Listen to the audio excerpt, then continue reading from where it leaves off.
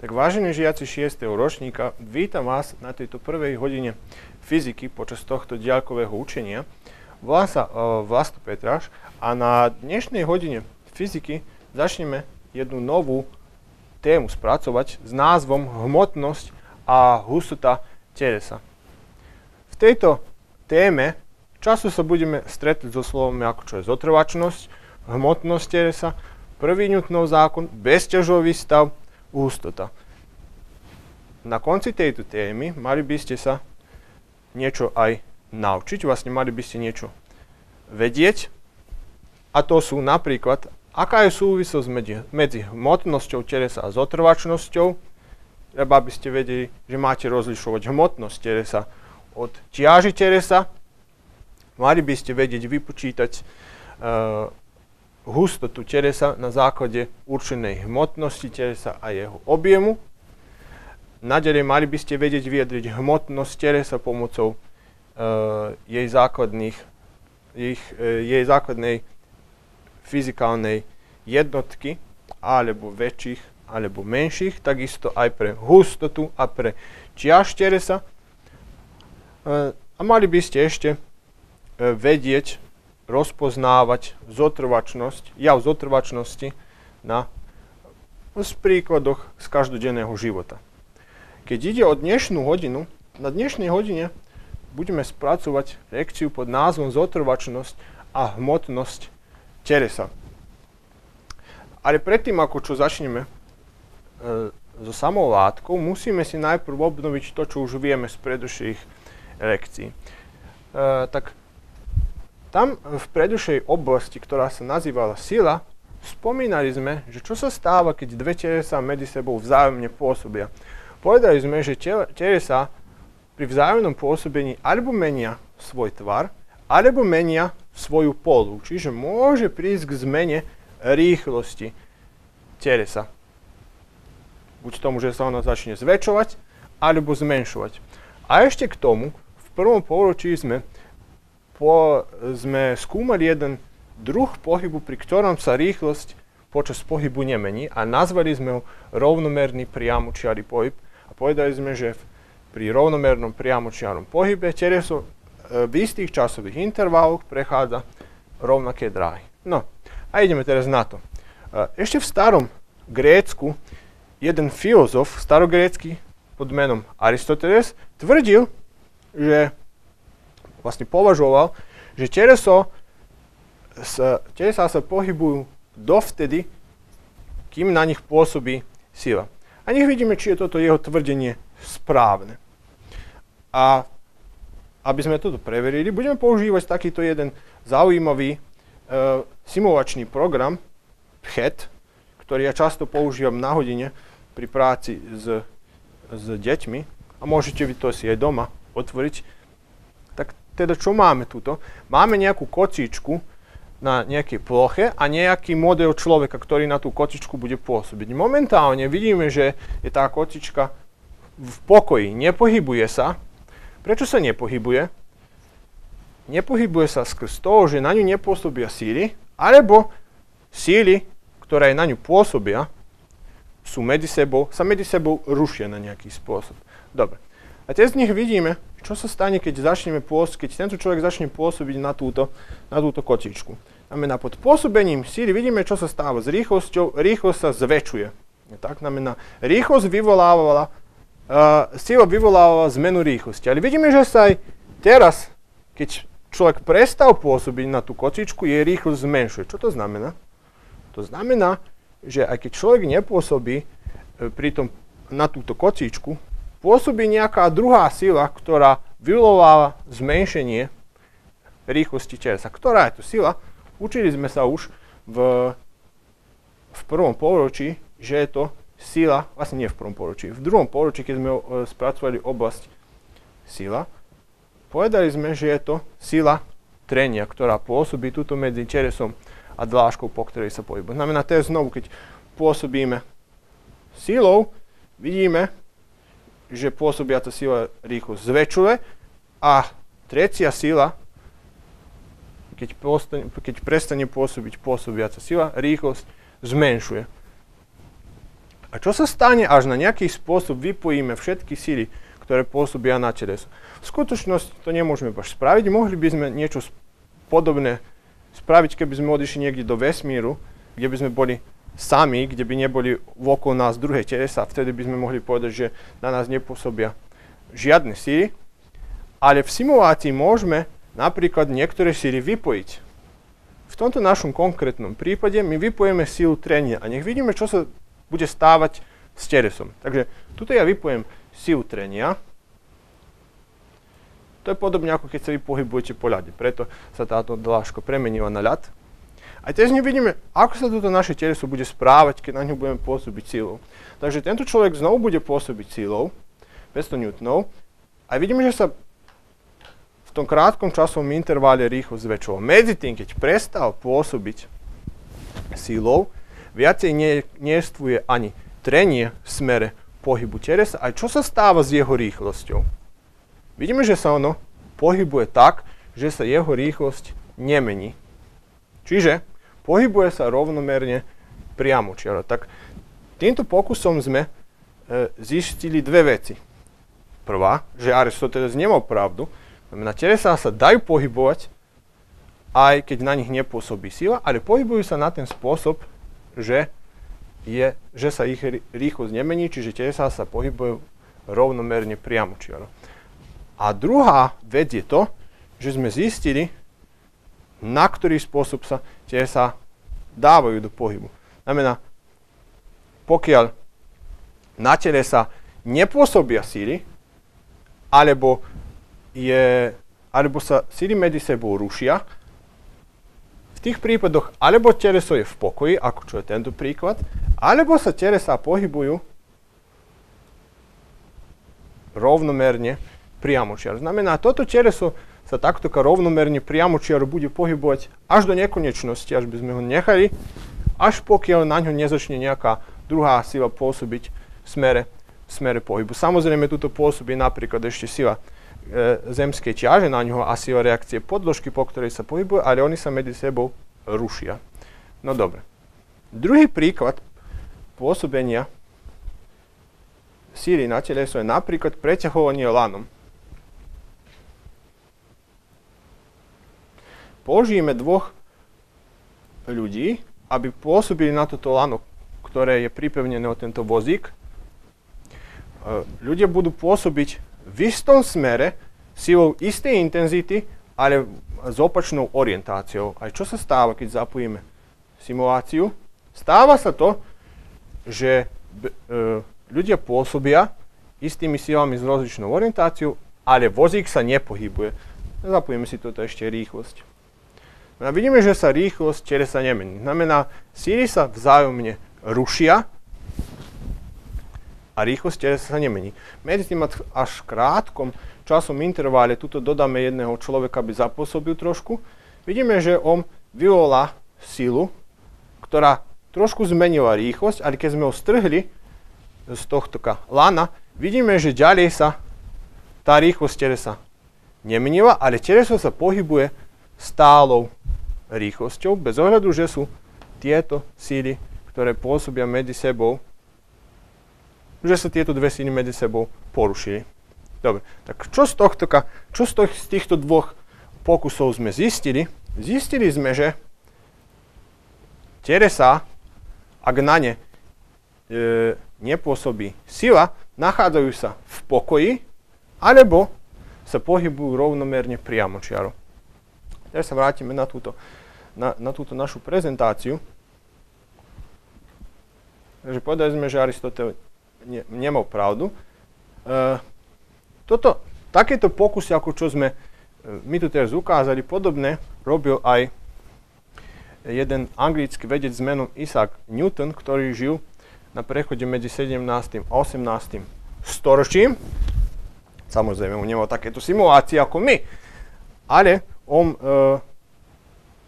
nejaký spôsob rozmýšľal v tomto smere, že čo by sa stalo, keby sme nejakú silu mohli vypojiť. A on prišiel do takéhoto uzáveru. Tento jeho uzáver dnes nazývame prvý Newtonov zákon, podľa, podľa neho, a ktorý nám hovorí, že teleso je v stave pokoja, alebo sa pohybuje rovnomerne priamo čiaro, ak na neho nepôsobia iné telesa, alebo ak sa ich pôsobenie navzájom ruší. Toto je jeden zo zá, najzákladnejších zákonov v oblasti mechaniky, čo je jedna z oblasti fyziky. A sám Newton, Newtona považujeme za jedného z najvýznamnejších fyzikov, pretože uh, prispel k rozvoju fyziky prakticky v každej jej oblasti. V idúcom ročníku, v 7. budeme ešte dva zákony spomínať, ktoré boli pomenované po Newtoni, Newtonovi. Uh, medzi tým, skôr ako čo Newton prišiel na tento svoj zákon, pohyb skúmal jeden vedec s menom Galileo Galilei. On si prvý všimol, že keď nepôsobí sila na teleso, telesa sú v stave pokoja alebo sa pohybujú rovnomerne priamočiaro. A keď už začneme pôsobiť na tie telesá, oni ako keby nechceli si zmeniť, tú, zmeniť ten svoj stav pokoja alebo rovnomerného priamočiarého pohybu. Ako keby odporovali zmene svojho stavu. A tento odpor zmene spôsobu pohybovania alebo stavu pokoja Galileo Galilei nazval zotrvačnosť alebo inercia. Uh, ohľadom, že zotrvačnosť alebo inercia je v súvislosti so samým pohybom telesa, keď na ňo pôsobí alebo nepôsobí sila. Prvý Newtonov zákon často nazývame práve zákon zotrvačnosti. Keď ide o samého Galileo Galileja, uh, jeho považujeme za zakladateľa fyziky, pretože do fyziky uviedol pokus. Na ďalších slajdoch ideme vyskúmať tento jav zotrvačnosti alebo inercie. A taký prvý príklad je, povedzme, že máme nejaký vlak a v tom vlaku e, na dlážke sa nachádza nejaká fľaša. A ideme vyskúmať dva prípady. Vlastne, najprv, e, keď je vlak v priamočiar, rovnomernom priamočiarnom pohybe, alebo sa nachádza v pokoji, sama fľaša sa nebude pohybovať. Medzi tým, čo sa stáva napríklad, keď sa vlak začne, povedzme, pohybovať e, z, zo stanice. Keď sa vlak začne pohybovať zo stanice, prechádza z, z, zo stavu pokoja do pohybu a fľaša až červená striečka nám znázor, vlastne červený šíp nám znázorňuje uh, smer a orientáciu pohybu vlaku. V momente, keď sa začne vlak pohybovať, fľaša sa začne pohybovať nazad, čiže bude, ma, bude mať opačnú orientáciu pohybovania od vlaku. Prečo je to tak? Na fľaša bola v pokoji a keď si vlak začne zväčšovať rýchlosť, fľaša si chce zanechať svoj stav v pokoja a preto sa za, ako by sa pohybovala naspäť. V druhom prípade, keď vlak sa pohybuje stálou rýchlosťou, fľaša je najprv v pokoji, ale keď vlak začne brzdiť, čiže začne zmenšovať svoju rýchlosť, táto naša fľaša si chce zadržať stav rovnomerného priamočiareho pohybu. Čiže chce sa pohybovať tou rýchlosťou, ktorou sa pohybovala a preto sa začne posúvať napred, čiže bude sa pohybovať s istou orientáciou, ako je sám vlak. Podobne sa napríklad stáva, aj keď stojíme v autobuse najprv tento príklad. Keď stojíme v autobuse a autobus je v pokoji uh, a povedzme, že autobus v jednom momente začne sa pohybovať. Čo, čo cítia uh, ľudia v autobuse, ktorí stoja alebo sedia, cítia, ako by sa pohli naspäť. Skrz istého dôvodu, ako je tieto flaše, ktoré sme ukazovali na, uh, na predošlom slajde. Znamená, ľudia si chcú za, zachovať stav pokoja a preto sa akoby pohybovali naspäť. Druhý prípad je, keď ten autobus začína brzdiť. V tom prípade e, ľudia sa v autobuse pohybujú istou rýchlosťou, ako je sám autobus, čiže pohybujú sa rovnomerne priamočiaro a v momente brzdenia, keď sa rýchlosť autobusu začne zmenšovať, ľudia, čiže ich telo, si chce zachovať stav rovnomerného priamočiarého pohybu a skrz toho sa začneme pohybovať napred. Dobre, tuto máme ešte niektoré prípady, uh, v ktorom sa zjavuje zotrvačnosť sa alebo inercia. Takýto jeden čas ste skúmali, keď ste boli menší, keď, vám zabloku, keď sa vozíte na bicykli a zablokuje vám koleso na bicykli. čo sa stane s vašim telom. Vaše telo sa aj ďalej chce pohybovať uh, stále tou istou rýchlosťou a jednoducho preletíme cez kormán bicyklie, tak? E, naďalej, keď sa nám pokazí kladivo, vyskočí tá kovová časť vyššie ako čo je potrebné, tak čo urobíme? Zoberieme to kladivo a udrieme o nejakú e, pevnú podložku, tým pádom sa táto kovová časť spustí dolu. Tak? Naďalej, prečo sa ono spustí dolu? Pretože v momente, keď spúšťame kladivo dolu, táto kovová časť sa pohybuje nejakou rýchlosťou a naraz, keď sa kladivo zastaví, táto kovová časť sa aj naďalej chce pohybovať stálou rýchlosťou, tak preto sa spustí dol na túto, na túto páku drevenú. Naďalej máme štipec na kartóne, a ktorý je postavený na, na jeden pohár. Znamená, až položíme papier na nejaký pohár a na ňu štipec, ak veľmi rýchlo posunieme papier, tak tento štipec sa nebude pohybovať spolu s papierom, ale zostane na mieste, kde, bo, kde stál na papieri a keď papier sa vyšmykne, vys, e, vyšmykne, tak tento štipec spadne do, do tohto poháru. Prečo? Z istých dôvodov. Ako je toto, čo, sme, čo sa teleso pohybuje napred. V tomto prípade e, tento štipec si chce zachovať stav pokoja, zostáva na tom mieste, kde stál. A ohľadom, že nemá na čom stať, po pohnutí papiera spadne dole. Podobne sa stáva aj dopravnej nehode. Keď, e, keď e, príde k zrážky dvoch aut, čo sa stáva s cestujúcimi, cestujúci si chcú zadržať tú rýchlosť, ktorou sa auto pohybovalo a celé, celé telo sa pohne napred. Môže sa stáť, že cestujúci vyletí cez okno, alebo že jednoducho udrie do toho E, do toho skla pred sebou a môže, si, môže sa na nejaký spôsob zraniť. Tak je veľmi významné, keď, e, keď e, sa vozíte autom, aby ste používali bezpečnostné pasy, aby sa zotrvačnosť, aby sa vám zotrvačnosť neobila o hlavu. No, naďalej spravíme ešte jeden pokus, že ak, v ktorom vyskúmame, ako sa určité telesa správajú, aká je ich zotrvačnosť závislosti od ich hmotnosti. A znovu budeme používať tento PHET simulačný program, ktorý sme používali aj v prvom prípade. A znovu dáme takto, toto, to, naše teleso sa aj naďalej pohybuje, povedali sme, že sa bude pohybovať do bezkonečnosti. My ho zastavíme, vrátime trenie na normálnu hodnotu a teraz čo ideme robiť? Ideme znovu na, na túto kočičku pôsobiť a ideme vidieť, ako rýchlo sa mení rýchlosť teresa. Tak dáme znovu, aby človek pôsobil silou 500 N na, toto, na túto kocičku. A vidíme, že rýchlosť relatívne rýchlo vzrastá. Dobre. A to je toto isté zopakujeme, ale na ten spôsob, že dodáme ešte jednu kocičku a na túto kocičku dodáme ešte jednu dievča.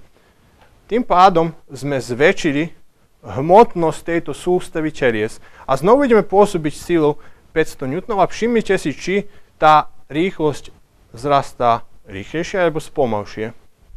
A vidíme, že teraz oveľa je ťažšie tomuto človeku, aby e, posunul tieto čeresá, skrz čoho, pretože majú väčšiu hmotnosť. Znamená, Telesa, ktoré majú väčšiu hmotnosť, ťažšie sa dávajú, ťažšie menia svoj stav. Povieme, že sú zotrva, zotrvačnejšie, majú väčšiu e, zotrvačnosť. Tým pádom hmotnosť nám bude veličina, pomocou ktorej budeme definovať zotrvačnosť a povieme, že opa, preskočil som, povieme, že hmotnosť je mierou e, zotrvačnosti telesa. Znamená, videli sme, že to teleso, ktoré malo väčšiu hmotnosť, sme ťažšie dali do, do pohybu a isto tak by sme ho ťažšie zastavili. Povieme, že je viacej zotrvačné a telesa, ktoré majú menšiu hmotnosť, hovoríme, že sú menej zotrvačné. Znamená, ľahšie ich dáme pohybu, ale ľahšie ich E, zastavíme. Hmotnosť sme povedali, že, je, że predstavljaju zakladnu fizikalnu veličinu tanke sme součili sustavu, a je jedna iz zakladnih vlastnosti tjeljes. Budemo ju e, označovati s malim pismenom tlačenim, e, s malim pismenom M, nije a, a jednotka je jej kilogram zakladna, a okrem e, kilogramu možemo použivati, a i veće i menše jednotke ako ću su gram, a menšie jednotky, ako sú gram a miligram, alebo väčšie, ako čo je napríklad tóna. 1 gram predstavuje tisíctú časť kilograma, alebo je to 0,001 kg. 1 mg je tisícta časť gramu, alebo je to 0,001 gramov. Pokiaľ jedna tóna má 1000 kg. Toto by už malo byť známe z hodinou matematiky niekde z nižších ročníkov. Naďalej, keď hovoríme o hmotnosti, musíme vedieť, že jej hodnota je vždy stav bez ohľadu, kde sa my nachádzali. Tak napríklad, až pozeráme hmotnosť tejto kačičky, je hmotnosť, kde istá, či sa ona nachádzala na povrchu Zemi, alebo sa nachádzala niekde ako nejaký astronaut vo vesmíre. Znamená, jej hmotnosť uh, bude na všetkých polohách vo vesmíre alebo na Zemi istá. Často, keď hovoríme o hmotnosti, hovoríme Často si postavím otázku, že koľko si ťažký. Na idúcich hodinách budeme vidieť, že táto, e, e, táto otázka, keď hovoríme o hmotnosti, nie je práve nie je, e, nie je presne postavená. Má súvislosť s hmotnosťou, ale nie je presne postavená. Budeme vedieť prečo. Ja spravíme teraz nejakú krátku rekapituláciu, čo, čo sme sa dnes naučili. Znamená, povedali sme, ako znie prvý Newtonov zákon. Znamená, prvý Newtonov zákon nám hovorí, že telesa sa pohybujú rovnomerne priamočiaro, alebo sú v stave pokoja, kým na nich nepôsobí nejaká sila.